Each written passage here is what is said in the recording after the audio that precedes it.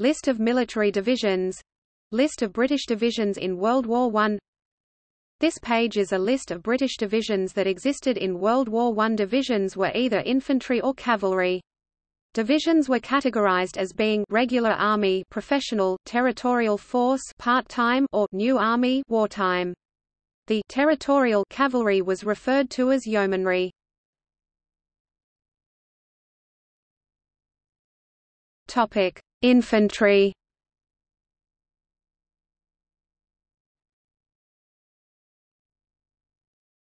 Topic: Cavalry.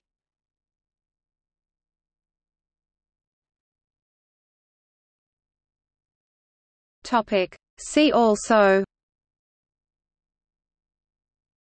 British infantry brigades of the First World War List of Indian divisions in World War I